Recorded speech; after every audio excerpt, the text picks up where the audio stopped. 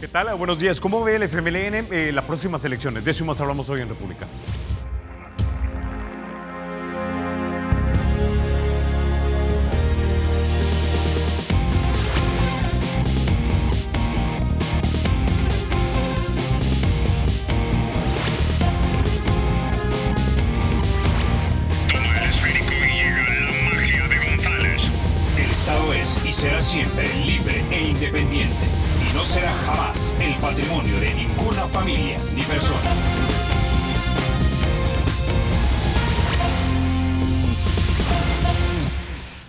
Sin mayor preámbulo, vamos a introducir a nuestro invitado esta mañana. Como siempre, es un verdadero placer recibir aquí en República a don Medardo González. Él es el coordinador del FMLN. Don Medardo, como siempre, bienvenido a República.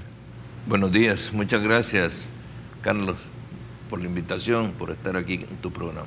Bueno, don Medardo, eh, comencemos eh, poniendo algo que tenemos en, eh, en- en la cuenta personal de, de Twitter, o debo decir la de la estación, Toledo eh, arroba 33.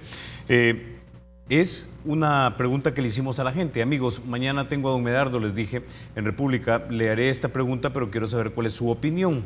Eh, ¿Creen que el FMLN cometió un error al eh, eh, básicamente expulsar al alcalde Nayib Bukele de sus filas? Bueno, hemos recibido por el momento noven- 9.064 votos. Todavía tenemos 13 horas, usted puede seguir votando. El 58% dice que sí, el eh, 42% dice que no y el 0% dice que no sabe. Don Medardo.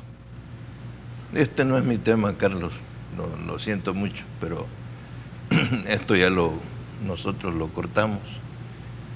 Eh, no podía ser, así que no es, ¿verdad? Él está haciendo su propio esfuerzo y eso es lo políticamente correcto. Ahora, él haga era- su era- esfuerzo era- don y nosotros seguimos en lo nuestro y no, este no es tema para mí. Ahora, pero él era o es uno de los políticos más eh, populares en este país y algunos creen que fue un error del FMLN el sacarlo. De repente, yo entiendo de que el alcalde Bukele eh, eh, cometió tal vez Carlos, algunas imprudencias. Mire, Carlos, en realidad una entrevista, pues sí, usted tiene derecho a preguntarme, pero yo también tengo derecho a, A no responder. a no responderle. Yo, yo quiero decirle que no es mi tema. De, de hecho, nosotros estamos ocupados, disculpe, pero, pero eh, no es ese mi punto. Ok, bueno, dejémoslo ahí entonces, don Medardo. Sí. Usted sabe que lo respeto Sí, muchísimo y sí, lo aprecio y siempre nos la pasamos bien fuera de cámara. sí. Bueno, hablemos entonces ahora de eh, la plataforma legislativa del FMLN para 2018. Eh, usted ha dicho que eh, esta plataforma que ustedes tienen para, el siguiente año es producto de las consultas populares. Sí, fíjese que, eh, bueno, nosotros no es la primera vez que, eh, estamos haciendo esta práctica. Eh, todos nuestros candidatos, alcaldes a diputados, los concejales, todo el mundo anda en el terreno, como se dice, en la jerga política de los partidos. Eh, nosotros siempre eh, llevamos a, consulta ¿verdad? Nuestro, nuestra plataforma. Eh, por supuesto que eh, hay cosas que son, que son básicas, eh, pero hay otras que, que- que- es la gente la que tiene que de- decidirse y la que tiene que opinarte. En el caso de, eh, de la experiencia municipal, pues eh, por supuesto que es la gente la que, la que tendrá que decirte eh, qué obra hacer, digamos, con el presupuesto que vas a tener, a lo que se le llama presupuesto participativo, pues qué es lo primero y qué es lo segundo. Nosotros esta práctica la venimos haciendo desde el 94, que ganamos nuestras primeras alcaldías y este, esa es, es nuestra práctica. En estos momentos, pues todos nuestros candidatos están en esa consulta eh, territorial, ¿verdad? En, en barrios, en colonias, eh, pero también se hacen consultas sectoriales, ¿verdad? Con distintos sectores que, que, pues, que son sujetos importantes dentro de la localidad. en el caso de los municipios, ¿verdad? Este, también nosotros estamos en, esta consulta por plataforma, eh, por los diputados y las diputadas, son ellos los que andan haciendo esta, esta consulta, eh, trabajando sobre lo que se está trabajando y lo nuevo por venir. Eh, quiero explicarme y decirle que pues hay temas que nosotros eh, los, los seguimos viendo, los seguimos teniendo. Hemos tenido, por ejemplo, un resultado en el tema de pensiones, hemos llegado a acuerdos en la Asamblea Legislativa eh, pero para nosotros eso fue un avance importante que le sirvió eh, para mejorar, eh, aunque sea un poco, las pensiones a los trabajadores, mejorar el tema de las finanzas públicas, pero, este, Carlos, de hecho que el tema de pensiones sigue siendo una, una deuda que nosotros, los políticos, tenemos con el pueblo salvadoreño. Ahora, don Medardo, ya que tocó este tema, eh, a mí me parece que ese fue un acuerdo que fue lo políticamente posible, pero me sigue pareciendo que fue un acuerdo mediocre. ¿Usted está satisfecho con esa reforma? No, yo no estoy de acuerdo con, con ese calificativo que usted le pone de mediocre. yo creo que fue insuficiente. De hecho, un, un acuerdo realista. Nosotros no tenemos en la Asamblea Legislativa la correlación suficiente y, bueno, la derecha se plegó a los dueños de, los, de las AFP, se plegaron y, nos dejaron solos, no, no, pudimos alcanzar los 43 votos necesarios. Yo al pueblo salvadoreño siempre le digo, si queremos transformaciones que, que, el pueblo necesita, denle, más diputados al FMLN. Eso es lo que he dicho.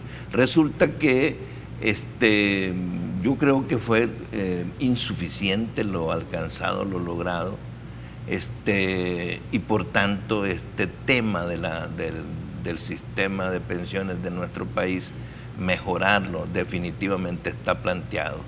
¿Verdad? Este, hay, hay grandes franjas de la población salvadoreña, de los trabajadores y trabajadoras, pues que usted sabe, están fuera de toda posibilidad. Los trabajadores por cuenta propia, que por cierto, eh, mi, saludo, mi felicitación a los trabajadores por cuenta propia, que el día de ayer eh, celebraban pues su día, ¿no?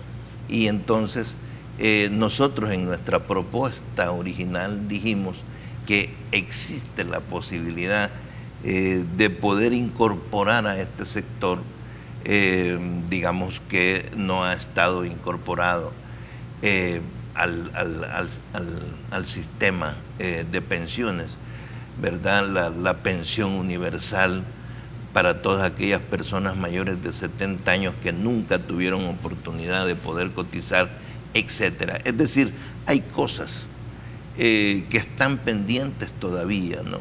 Y para eso, pues, este, Carlos, hay que hablar mucho. Nosotros creemos que este, de, hecho tiene que crearse el pilar eh, eh, público que le dé fuerza y sustento a esta propuesta que nosotros tenemos y que por el momento se quedó ahí guardada. Pero en nuestra cabeza y en nuestra acción eso no se queda guardado. La búsqueda de, de ampliar el sistema de pensiones a otros sectores que están excluidos por el momento, eh, nosotros la tenemos. Bueno, yo debo decir que coincidía con la posición inicial de, su partido, y lo he dicho aquí abiertamente en República, que coincido con la propuesta de don, de don Charlie Cáceres, que era la del modelo mixto. Lo que a mucha gente no le cuadraba y a mí no me cuadra todavía, era la propuesta de básicamente nacionalizar parte de los ahorros de los salvadoreños eh, para crear ese fondo colectivo sin indemnización como lo manda uno de los artículos de la Constitución. Yo creo que ese era el gran impasse. No, mire, Carlos, este, nosotros nunca, eso, eso, nunca, eh, ni lo dijimos, ni, ni lo insinuamos, este, pero que no lo dijeran no quiere decir que no era lo que de facto iba a suceder. Ni lo quisimos meter, digamos, bajo la alfombra o bajo lo que sea, nunca, bajo la mesa, nunca quisimos meter nada, ningún tema eh, de este tipo al respecto. De hecho, este, de hecho nosotros, este, bueno, y las cosas terminaron como, como, como fueron. Este, las cosas terminaron de tal manera que los trabajadores, Carlos, y usted no me va a decir otra cosa, al final, aunque fue, digamos, este, limitados los beneficios, pero los trabajadores salieron beneficiados con lo que nosotros acordamos en la, en Asamblea Legislativa. No es cierto eh, que, haya, eh, digamos, eh, este planteamiento que las AFP, o no planteamiento, sino este eslogan o lo que sea que las AFP lanzaron, ¿verdad? En el sentido de que el gobierno lo que quería era robarle sus pensiones a los trabajadores. Una cosa completamente falsa, una cosa completamente mediática. Bueno, de hecho eso lo dijo también el, expresidente del BCR, don Mauricio Chusí, que no es para nada una persona eh, de izquierda, y dijo el robo realmente se concretó en 1997-98 cuando aprobaron, y luego en el 2006, cuando se aprobó el fideicomiso. ¿O no? Mire, mire, eh, Carlos, eh, de hecho, este, decirle pues que, nosotros definitivamente estamos totalmente convencidos y vuelvo a, insistirle a la población salvadoreña, eh, los diputados y, diputadas del FMLN vamos a seguir como un punto importante en nuestra plataforma en este tema de, pensiones. De hecho, este, prácticamente pasamos un año en este debate, no tuvimos la correlación necesaria eh, en la Asamblea Legislativa como partido político, pero este, nosotros eh, esperamos eh, seguir, como digo, teniendo y generando la correlación de fuerzas necesarias para beneficiar a otro porcentaje importante y, por qué no decirlo, al 100% de los trabajadores de este país. Bueno, ese ya nos quedamos, don Medardo. Vamos a la pausa. Cuando regresemos seguimos hablando acerca de este tema de pensiones. Hablamos también de la plataforma legislativa que tiene el frente para 2018. Antes de eso, déjeme contarle que el Banco Promérica apoya a la Fundación Actuar es Vivir, que ayuda a la prevención y detección del cáncer de mama y también de cervix. La Fundación Actuar es Vivir eh, ha logrado a través de charlas concientizar sobre la prevención del cáncer de seno y cervix a más de 4.140 mujeres. Ya volvemos.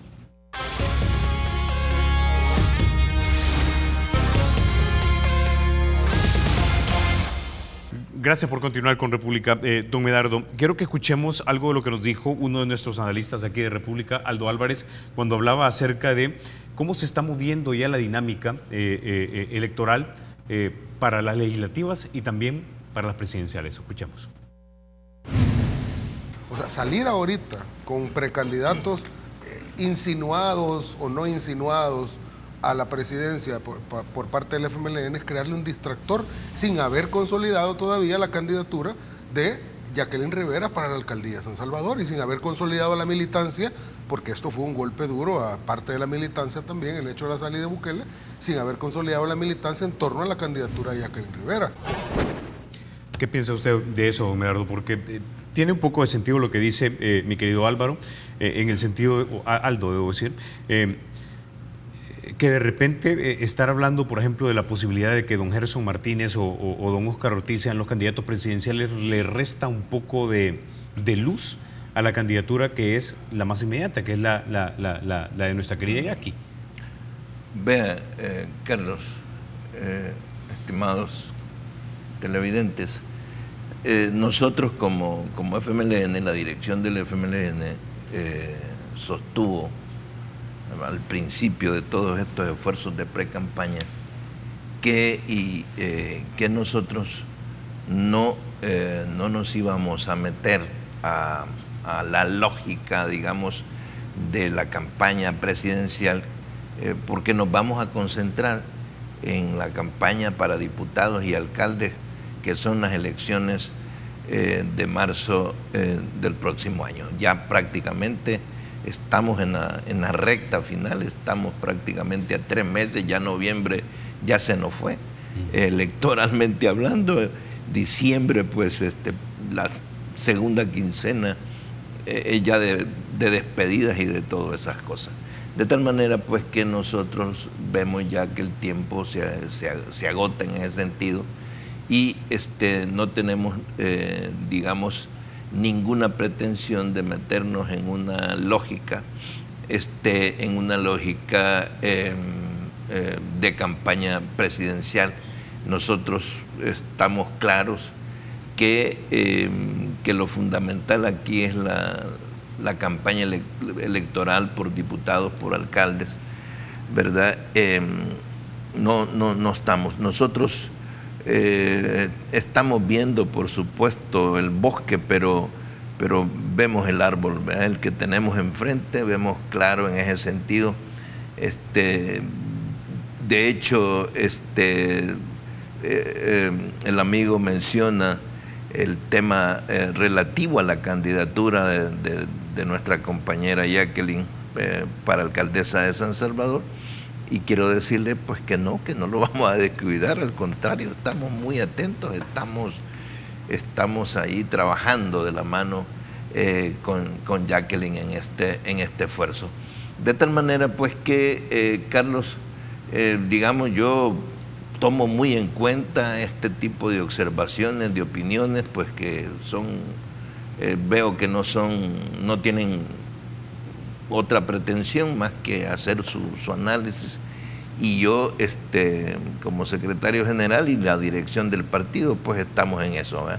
Este, pero insisto, nosotros estamos este, centrados eh, fundamentalmente en esto que, que tiene que ver con la candidatura para diputados y alcaldes. Ahora, eh, don Medardo, ya que estamos hablando de esto, no le puedo dejar de preguntar. ¿Quién va a ser? ¿Don Gerson, don Oscar o usted? Mire, no, no, no. Fíjese, eh, fíjese Carlos, que, que ya eh, varias veces me han preguntado en medios de televisión y también en, otros lados sobre una posible candidatura mía. Y yo este, he dicho no, no, este, posiblemente hayan algunas, hay compañeros, ciudadanos que quisieran verme a mí entre los nominados y yo agradezco eso. Pero, este, pero no, yo, yo estoy muy, muy satisfecho eh, con estos nombres de estos compañeros que, que suenan como posibles candidatos.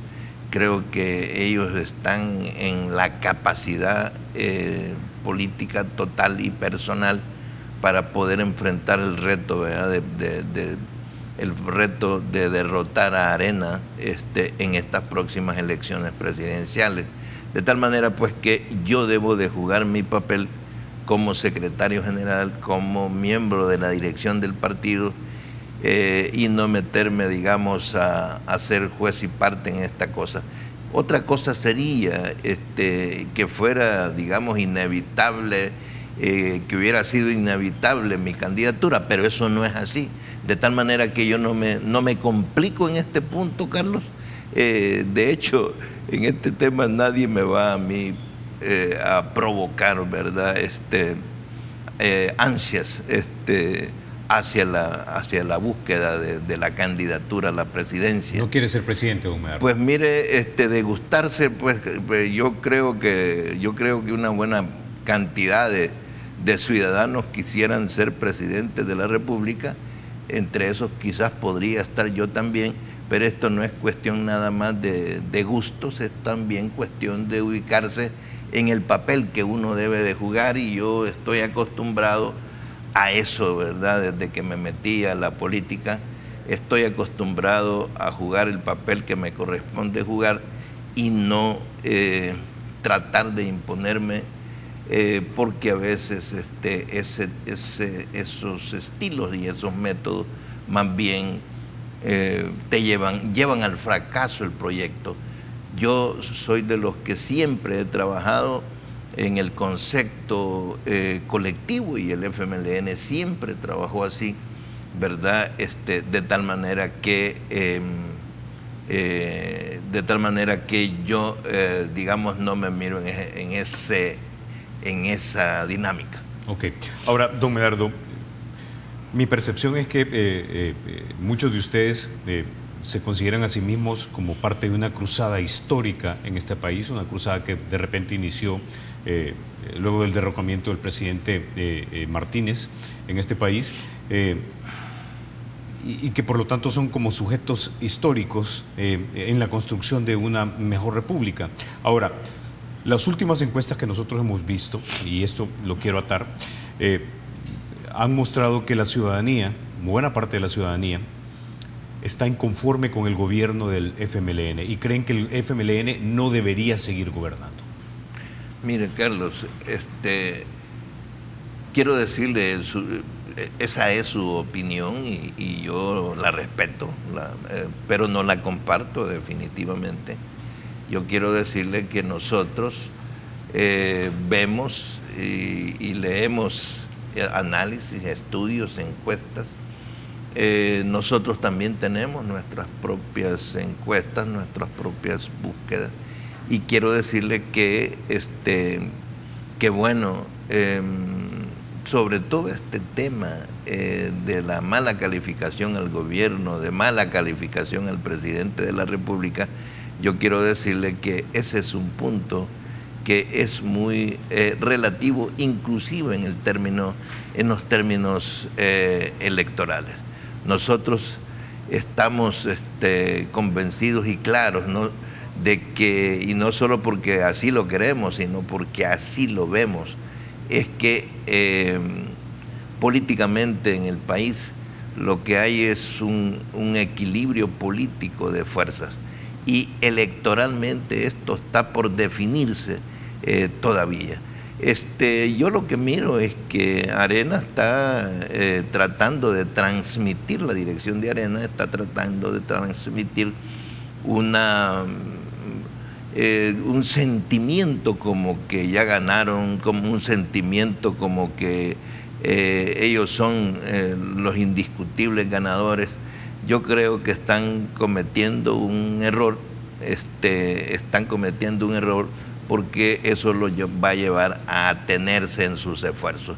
Ya nosotros somos veteranos también en estas líderes eh, de luchas electorales y políticas, ¿verdad? Y sabemos que, que las cosas, eh, las cosas no solo se reflejan en las encuestas, las cosas se reflejan en la, en la vida real de la gente, ¿no?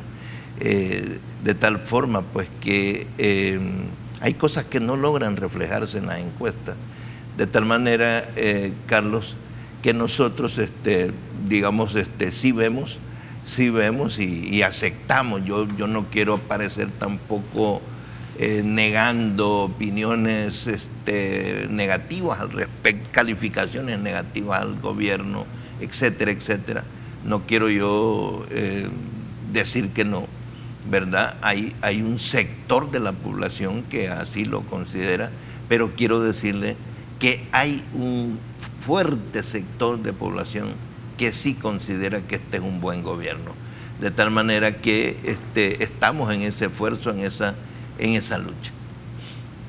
¿Usted entonces no cree eh, lo que nos dicen las encuestas, por ejemplo, del mundo de la UCA, que eh, desafortunadamente para él evalúan mal al presidente Sánchez Serén? Mire, este, Carlos, yo, eh, usted menciona nombres de casas encuestadoras. Eh, yo no las tengo contra ninguna casa encuestadora. Este, lo que yo sé es que eh, principalmente en tiempos electorales, em, en tiempos electorales lo que se da es, es- es, eh, esa como, como ah, insisten- eh, insistencia de incidir en la opinión pública en ciertos aspectos. Así que este, en ese interés, eh, en ese interés de las casas encuestadoras de insistir, yo quiero darle un ejemplo.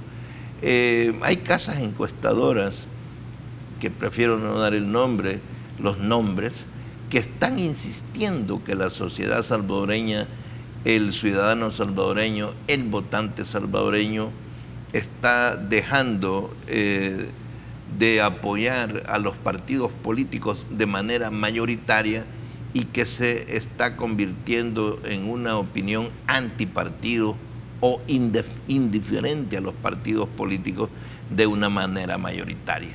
Yo estoy totalmente convencido que eso no es cierto y que eso es un interés político de las casas encuestadoras. O sea, este, yo eh, creo que con ese tipo de, con ese tipo de propósitos y con ese tipo de casas encuestadoras, mejor es este, leerlo, eh, leerlo entre líneas, leerlo con cuidado.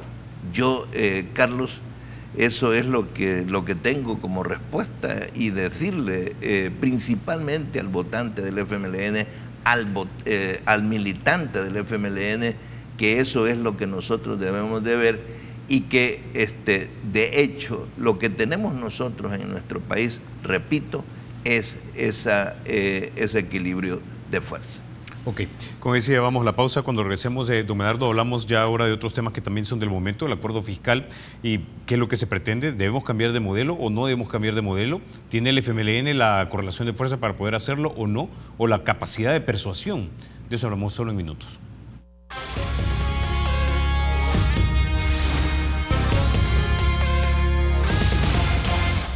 Gracias por continuar con República. Eh, don Medardo, eh, antes de continuar con usted, quiero que pongamos en pantalla lo que dijo el señor Javier Simán, él es eh, precandidato presidencial del Partido de Arena, cuando hablaba acerca de el acuerdo fiscal. Dice, no se trata, dice él, solo de aumentar impuestos. Ya la población no aguanta más impuestos, tampoco se trata de aumentar la deuda. Ya nuestro país no puede con más deuda. Necesitamos hacer un recorte en los gastos, porque hay muchísimo gasto que no termina en beneficio de la población. Y eso, digámoslo así, que, buena parte de la gente también piensa lo mismo, Medardo, que el punto es que se engruesa la planilla del gobierno, pero se engruesa para eh, comprar o, recompensar eh, lealtades partidarias. Y ojo, que en mi opinión, honestamente, no es solamente una práctica que haya tenido el FMLN, también la tuvo Arena, el PDC y el PCN, y así vamos para atrás. Mire, mire, voy a, voy a, separar la respuesta ahí en dos partes. Esta última parte que usted este, le aporta la pregunta, decirle que en este tema específico del incremento la del incremento de trabajadores dentro del gobierno, que por cierto Arena habla de 40 mil puestos de trabajo, Quiero decirle que eh, la inmensa mayoría, y esto por supuesto para los televidentes, la inmensa mayoría de los, de los trabajadores que han sido contratados han sido contratados para seguridad pública, ¿verdad? Este, eh, principalmente para, para la Policía Nacional Civil, lo mismo que para el Ejército. Eh, pero también ha habido un incremento este, en la población, digo, en, los trabajadores del gobierno, eh, en, salud, en educación, eh, que si todos recordamos, en, los primeros años del presidente Funes, se dio este tema de la incorporación de todos aquellos maestros que estaban fuera del sistema educativo sin los beneficios, eh, digamos, de prestaciones eh, laborales, eh, todos aquellos trabajadores que estaban en Educo.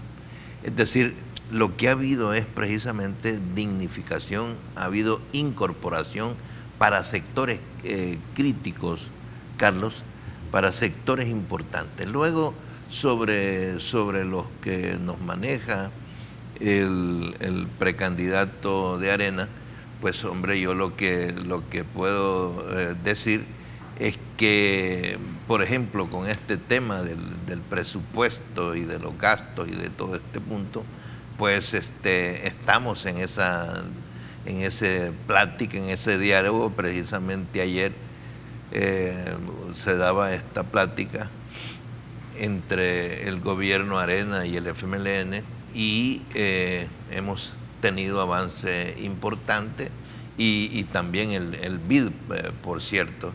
¿verdad? Y, el señalamiento más, eh, o el aspecto más fuerte de arena, digamos, por ahora, es precisamente en el tema de los gastos y que hay que recortar. ¿Verdad? Sobre este tema quiero decirle que nosotros eh, hemos estado seguros, hemos acompañado la, eh, digamos, el planteamiento y la petición hecha por el gobierno, por el ministro Carlos Cáceres a la Asamblea Legislativa sobre gastos, ingresos y gastos.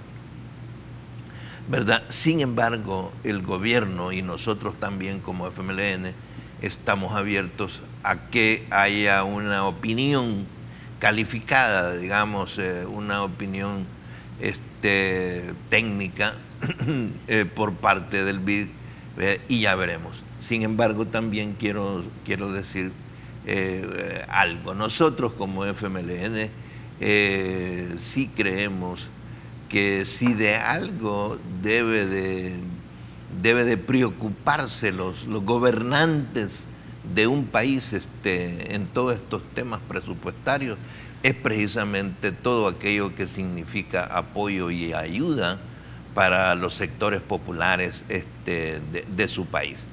Eh, yo en este sentido quiero decirle que, nosotros eh, vamos a defender con, nuestras uñas y nuestros dientes eh, el tema presupuestario relativo a estos programas, como por ejemplo los cuadernos, los, uniformes, los zapatos para los niños, la comida, el vaso de leche, el paquete agrícola, el subsidio del transporte, el, subsidio del, gas para, para, la cocina, eh, todo este, el subsidio a la energía eléctrica que se mantiene, todo ese tipo de cosas que el gobierno mantiene se vuelven fundamentales. ¿Qué pasaría, eh, Carlos, si eh, por querer actuar con este tipo de criterios neoliberales se quita eso, lo que se haría es profundizar y ampliar la pobreza en nuestro país. Así que este, nosotros estamos abiertos y por cierto voy a aprovechar la oportunidad para decir, eh, Carlos, que em, aprovechar la oportunidad que nosotros eh, esperamos que haya acuerdo eh, para la aprobación del presupuesto, para el financiamiento del presupuesto 2018, ¿verdad? Ah, por supuesto, eh, en este mes de noviembre, en los primeros días de diciembre, por decir una cosa, ¿verdad? Eh, estamos abiertos a llegar a ese acuerdo tan importante. Ok, ahora, Don Medardo, antes de continuar, quiero que escuchemos algo de lo que nos dijo el día de ayer eh, mi colega Mariana Abelloso, eh, editora de la prensa gráfica de Economía, cuando hablaba precisamente acerca del de, eh, el gasto público en este país. Escuchemos. Está bien, necesitamos este dinero adicional, pero gastémoslo correctamente. O sea, nos indignamos de ver a nuestros a nuestros funcionarios, aunque sea simbólico, dejarlos de ver volando en primera clase, dejarlos de ver en esas camionetas que tienen cuatro o cinco guardadas un solo funcionario, dejar de ver ese montón de plazas. Don Medardo, eso es algo de lo que de repente, eh, y lo hablamos y se lo dije también al señor Mauricio Interiano, presidente del Partido Arena, la semana anterior, le decía, ok, ciertamente lo que ustedes dicen... Eh, viáticos, viajes, lujos, etcétera, pueden ahorrarnos 250 millones, 300 millones eh, eh, en este país, que no es una cantidad despreciable de dinero, pero tampoco es una cantidad de dinero que va a solventar los problemas del país. Pero aquí le volteo la tortilla a usted. ¿Por qué no realmente ser un poco más riguroso en el gasto del gobierno cuando se trata de esos eh, gastos que mucha gente consideraría que de repente son son lujos. Mire, Carlos, de hecho este tipo de enfoques pues son enfoques que provocadores, digamos, ante la población, ¿verdad? Porque, porque nadie eh, en ninguna parte del mundo está dispuesto a, que se haga mal uso de, los, de sus impuestos. Eh, que funcionarios eh, irresponsables hagan mal uso de sus, de sus propios impuestos. De eso, esa es una, es una verdad que yo debo de, sostener y aceptar.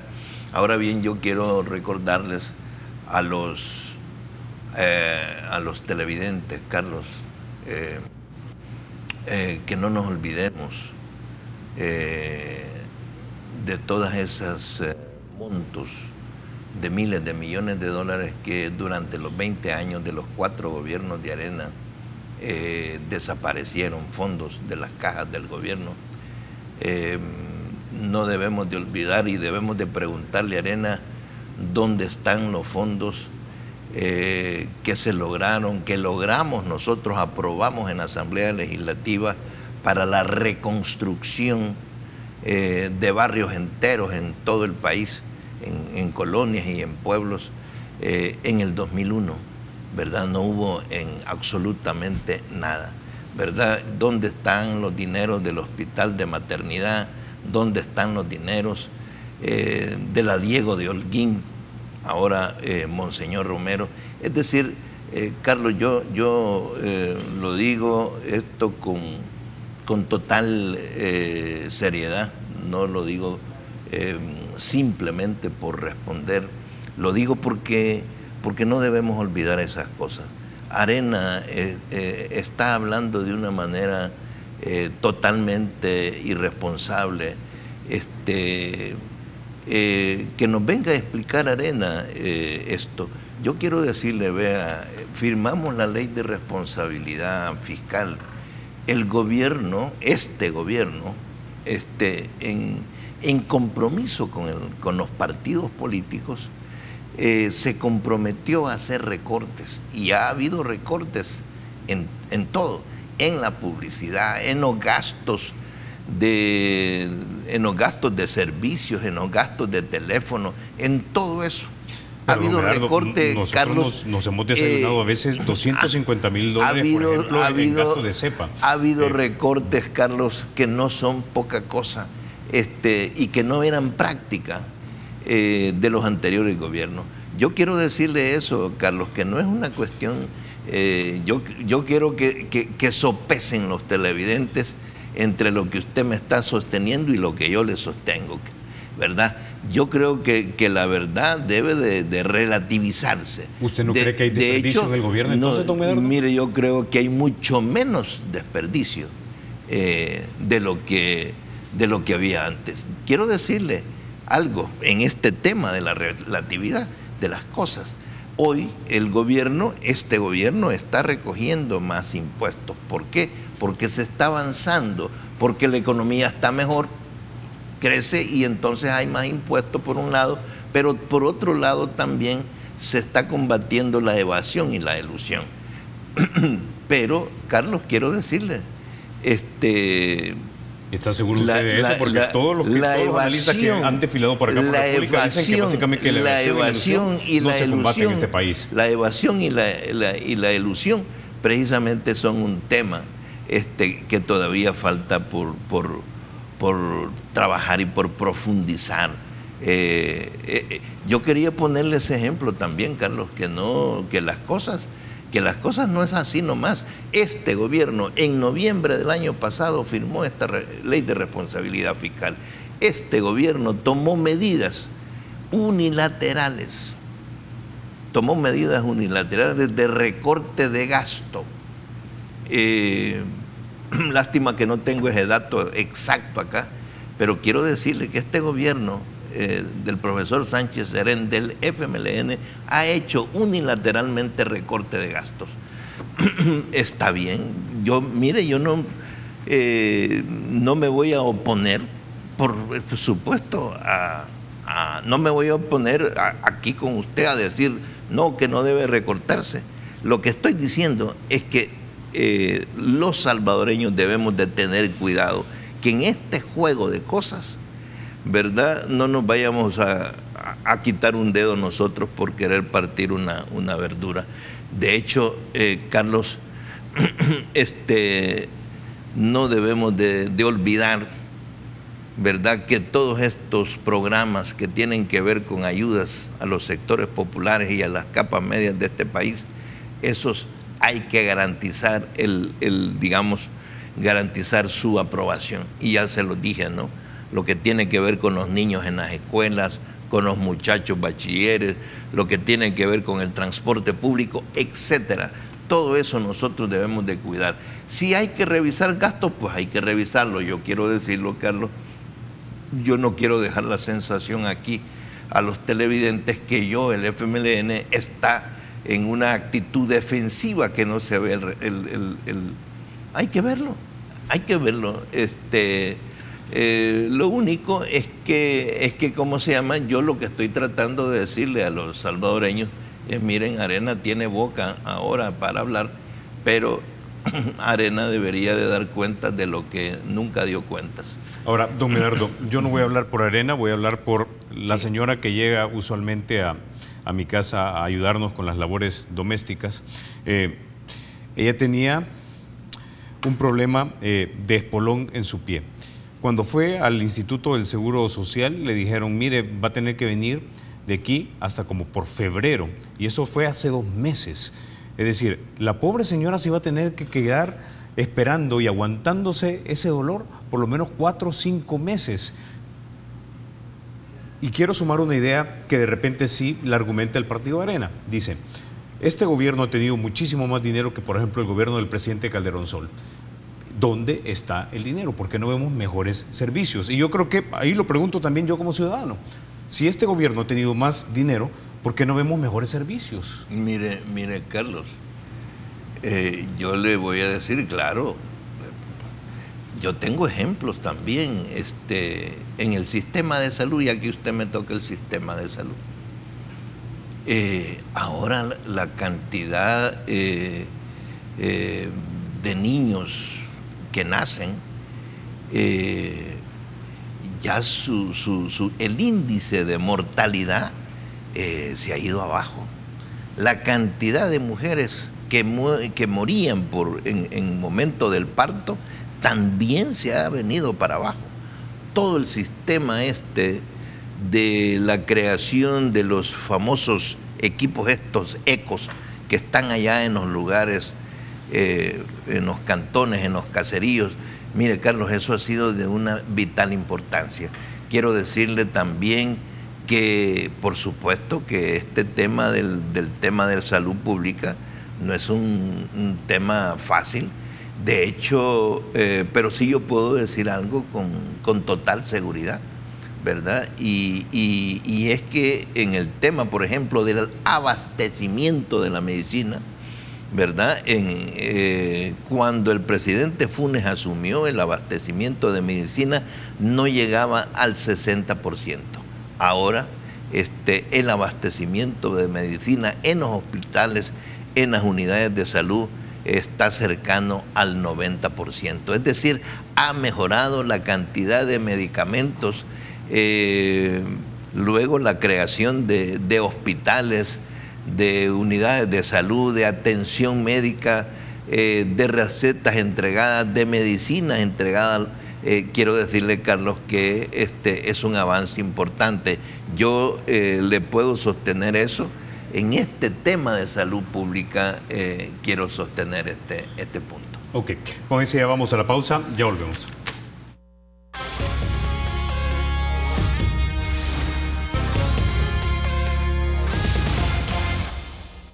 Gracias por continuar con eh, República Don Medardo. Tengo poco tiempo, pero no quiero dejarle eh, de hacer una pregunta que siempre nos las hace llegar mi querido amigo allá en Santa Rosa de Lima, eh, Fausto Sorto, a quien le mando saludos, por cierto. Dice, ¿por qué nosotros, dice él, la gente común, la asalariada, no siente todos los cambios y todas las bondades que don Medardo González está explicando?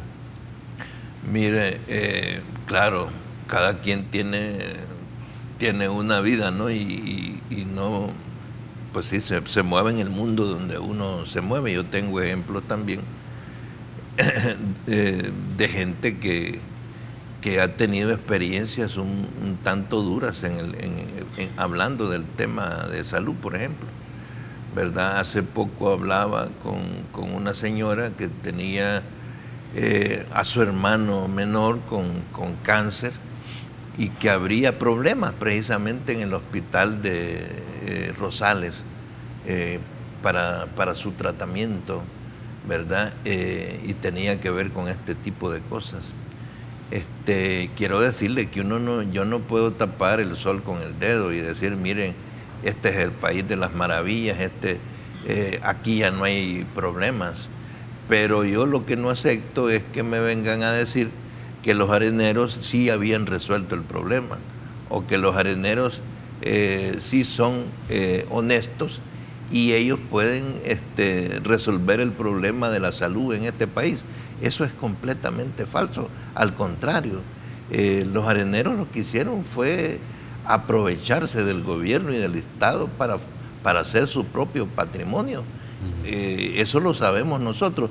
Yo, estimado amigo, está bien que usted me ponga en juicio, eh, pero yo también tengo derecho a responderle a usted, mire, este, de hecho es cierto, no puedo tapar el sol con el dedo, pero definitivamente que sí tengo, tengo eh, seguridad, tengo la información, eh, tengo el respaldo, ¿verdad?, de que en el tema de la seguridad pública han habido significativos avances y mejoras eh, para la población salvadoreña.